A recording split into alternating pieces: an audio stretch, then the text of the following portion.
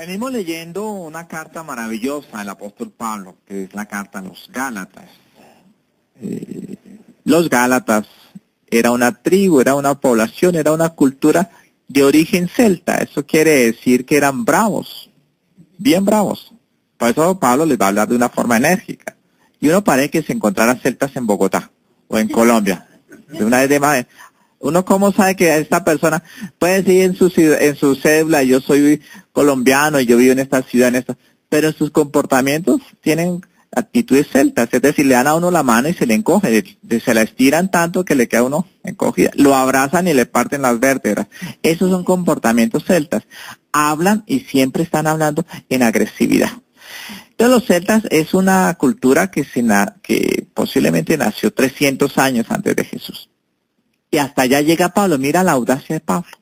Y entonces va a los Gálatas y, y Pablo escribe esta carta en el año 57, más o menos, para que tengamos una idea, mitad del primer siglo. En la mitad del primer siglo escribe esta carta, que es una catequesis para enseñarle a esta gente que eran paganos, es decir, gentiles, no judíos, no habían nacido en el pueblo de Israel, y que se habían se estaban adhiriendo al proyecto de Jesús a través de la predicación de Pablo, a través de las misiones que Pablo generaba, a través de la experiencia que Pablo generaba, estaban logrando esto. Y hoy hay unos problemas, la comunidad está en un proceso de confusión, de dificultad, ¿le hacemos o no le hacemos caso a Pablo? Ese era un problema que tenían en esta comunidad de Galatas. ¿Aceptamos o no aceptamos el Evangelio de Jesucristo? Entonces, eran problemas bastante delicados. Y hoy Pablo está dando respuestas y comienza con una palabra que esa era la más, más grave en esa época. O insensatos Gálatas. Era como decir, uy, imagínese la palabra más fuerte que quieran decir hoy, ¿ve? Ya para nosotros insensatos no tienen mucha validez, ¿ve? Nos parece como una palabra muy, muy infantil. Insensatos Gálatas era decir, uy, mejor, ustedes son los más graves que está pasando. ¿Por qué? ¿Por qué son insensatos? Ir a una experiencia. Porque comenzaron en espíritu, y terminaron en carne. Y mira que yo creo que muchos de nosotros hemos hecho ese ejercicio al revés. Empezamos en mucha espiritualidad y estamos terminando en bastante materialidad. Insensatos Gálatas. Han empezado en espíritu y terminaron en carne. Y para vivir la carne se han dejado guiar por la ley. Y Pablo dice una palabra supremamente interesante que deberíamos tener presente hoy. Estoy en el capítulo tercero de esta carta. Dice que la ley la ley es como la nodriza. ¿Cuándo uno necesita nodrizas? Pues cuando es pequeño, ¿cierto? Yo creo que de adulto ya no necesitamos nodriza, necesitamos más bien que necesitamos es otra persona, ¿ven? Pero no, no nodriza. Si tienen nodriza en adultez, yo creo que algo les falló. Nodriza es cuando uno es pequeño, que necesita que lo vayan educando, formando, hasta que sea adulto. La ley es para cuando estamos en esa etapa infantil en esa etapa de relacionarnos con Dios desde la distancia, desde el miedo, desde el temor. Entonces, hoy ya no estamos bajo el proyecto de la ley, ya hemos crecido y estamos bajo el poder del Espíritu Santo. Y queremos, le está diciendo Pablo a los Galatas, queremos invertir el orden. Queremos ser adultos en la edad, pero niños en el comportamiento espiritual o insensatos Gálatas. No hagan eso. No pierdan el poder del Espíritu Santo. No se dejen estimular por las situaciones de la ley y su experiencia infantil. Demos el paso mayor y vivamos el proyecto de Dios. Ahí está esta experiencia que se ven ustedes, está en términos de categoría, en términos enérgicos, porque le está hablando Pablo, yo creo que es de las cartas más fuertes que Pablo escribió. Obviamente porque también era una cultura muy, muy dura, así hablaban ellos. Así era el estilo. Si Pablo les hubiera hablado en otro lenguaje, de pronto no lo hubieran entendido, le hubieran interpretado más. Si hubiera dicho, queridos amigos, comunidad estimada, hubieran dicho, no, este frágil Pablo, este débil Pablo. No, se mostró con firmeza porque estábamos frente a una cultura así, recia. No con ofensa, pero sí, una cultura recia y hay que mostrarse con firmeza frente a Dios. Empezaron en espíritu y terminaron en carne. Empezaron siendo adultos y terminaron con comportamientos infantiles. Pudiéramos decir eso. Y revisemos nuestra vida. ¿Me ha pasado eso? ¿Estoy viviendo así? ¿O estoy en esta situación de adultez? ¿Qué es la adultez? Oiga, el Señor nos coloca el texto maravilloso. Ayer, estamos capítulo 11 de Lucas, ayer era tan interesante el proyecto de Jesús. Jesús tenía una experiencia con Dios tan fascinante que no la imponía. Cuando yo tengo un proyecto de Dios, no lo impongo, lo convierto en testimonio. Mira que eso no obligaba, eso es una imposición. Cuando a uno lo obligan, están imponiendo. Usted tiene que vestirse así, tiene que ser así, tiene que estar acá. Eso es una obligación. Y puede que lo hagamos, pero no estamos a gusto. Jesús permanentemente, si una característica distingue a Jesús que permanentemente se relacionaba con Dios, el Padre, y se relacionaba a través de la oración. Hasta que un día, y fue lo que leímos ayer, los discípulos le dijeron, oye Señor, enséñanos a orar. Es que nosotros te vemos que tú estás con Dios y se cambia tu estilo, se cambia tu vida, tu vida es distinta. ¿Qué te hace diferente? El encuentro con Dios. Enséñanos a orar. Entonces Jesús ayer les da la respuesta, que es la oración que hemos llamado el Padre Nuestro. ¿Y qué es la oración? ¿Qué es la, qué es la adultez en la fe? Y hoy sigue el Evangelio diciendo, es una relación de amistad. Un amigo que llega y lo visita a uno a medianoche. Eso solo sucede en la cultura judía. Aquí en Colombia, donde le visita a uno a medianoche, le abre la policía, porque eso es un peligro. Uno no abre la puerta después de las ocho de la noche y primero le advierte. ¿Por qué un amigo camina en la noche? ¿Por qué un judío camina en la noche? Primero, porque estamos en una etapa de la, del año totalmente es el verano. Si tú caminas en la mañana, en la tarde, el verano te avasalla y de pronto te enferma. Entonces, es un camino eh, peligroso en ese sentido. No vas a llegar a buen término. Entonces se arriesga en la noche. Pero la noche tiene otro peligro y es que la noche puede ser ocasión para que te asalten, ¿ven? Habrá gente en el, en el trayecto que te quiera hacer daño. Pero esta eh, era la costumbre. Entonces yo camino en la noche, eh, cuidándome del sol, el sol inclemente, eh, no alcanzamos a conocer porque Colombia no es un país de estaciones, son inclementes, pero me arriesgo a que me pase algo. Ya no un problema climático, sino un problema social, que alguien me asalte y me quiera hacer daño. Entonces, este amigo se arriesgó y se arriesgó y por eso llegó a medianoche. Entonces, lo primero que hay que hacer es abrirle la puerta.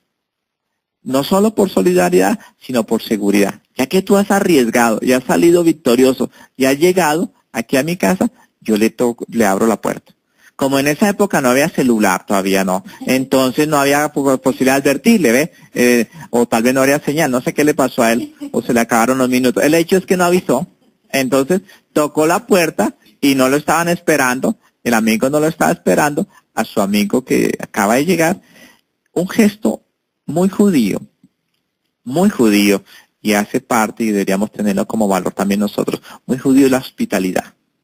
Ellos, frente a la hospitalidad, se desviven, dan hasta lo que no tienen. ¿Por qué? Porque es el valor de la amistad. Sin ningún interés, simplemente el valor de la amistad. Porque ellos dicen, hacen la analogía, cuando nosotros no teníamos, Dios nos lo dio todo. Y hoy que tengo, te lo voy a dar a ti, a mi amigo. ¿Ves? Mira que la analogía es muy bonita, es decir, la relación. Cuando nosotros no teníamos, éramos esclavos, Dios nos lo dio todo. Me dio la libertad, me dio esta tierra, me dio este país. Y hoy que lo tengo, te lo entrego a ti, que es mi amigo. Entonces, en la hospitalidad. Entonces, este amigo se levanta a medianoche a prepararle el alimento y, pues no tenía alimento, va y toca la puerta del amigo. ¿Ven lo que va haciendo la oración? Haciendo como un contacto, ¿ven? Como que se va convirtiendo en un corre la voz. Entonces, a mí, yo encuentro al Señor, yo te lo transmito a ti, tú te lo transmites al otro, y, el, y se va volviendo una experiencia de, eh, de fe, no simplemente un encuentro individualista. Este amigo se reúne con su amigo, va y toca la puerta del otro amigo, y en medio de ese tocar la puerta del otro amigo, se hace hasta inoportuno. A medianoche, se hace inoportuno, eh, eh, ven tan interesante, la casa solamente se hace lo que el padre dice, ve que el que se levanta es el Señor, no se levanta ya la, mujer. Al que le piden el pan es al Señor. El Señor es el que da la orden o niega la orden, permite o no permite. Es decir, toda la organización de la casa giraba alrededor del varón, del padre, diríamos nosotros. Es el padre el que toma las decisiones. Permite o rechaza. ¿Ven? Hay grandes diferencias.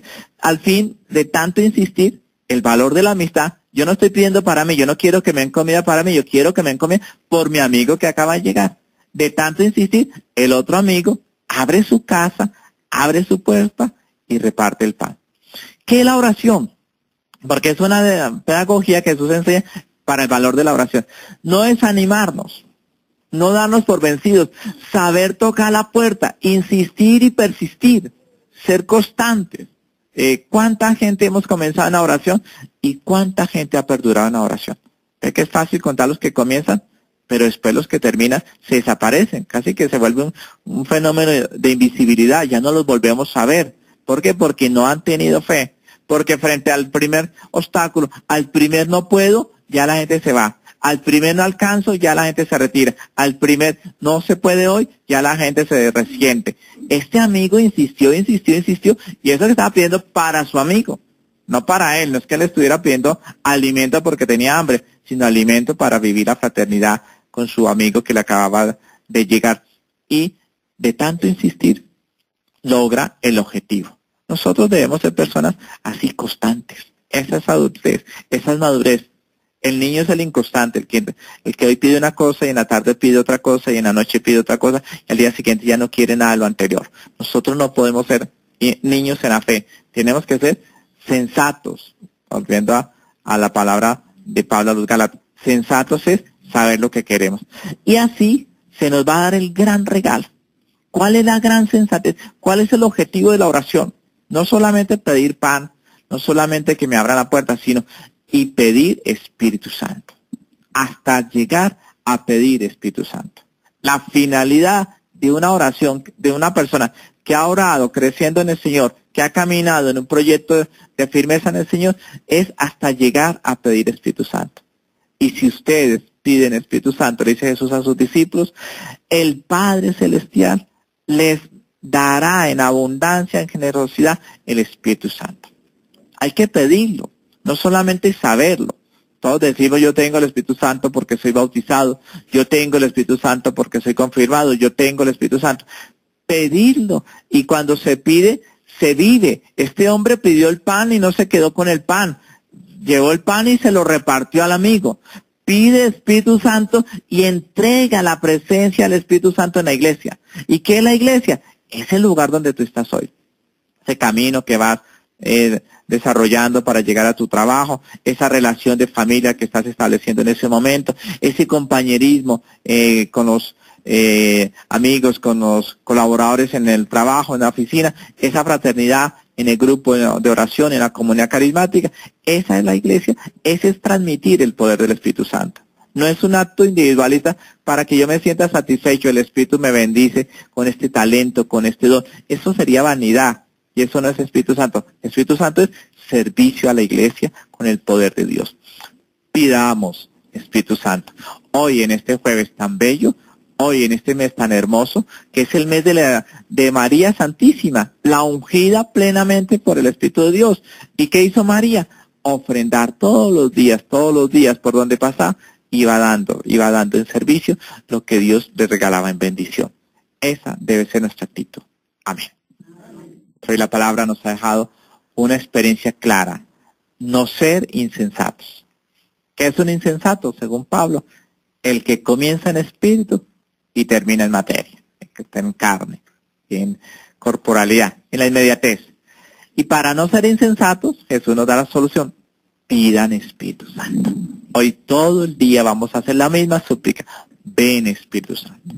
Donde estés, en el camino, en el transporte, en la oficina, en donde estés, ven Espíritu Santo. Que este espacio donde yo estoy sea un espacio tuyo. Ven Espíritu Santo. Y el Espíritu Santo va a llegar. Va a llegar porque Dios lo que ofrece lo cumple. Él no se queda en la promesa, Él cumple lo que ofrece. Y ofrece Espíritu Santo y vamos a recibir Espíritu Santo. Nos toca a nosotros pedir Espíritu Santo. Ven Espíritu Santo. No hagamos más súplica. Esa es la, la máxima, la, más grande, la extraordinaria súplica, ven Espíritu Santo. Que esa sea la actitud que tengamos a lo largo de este día.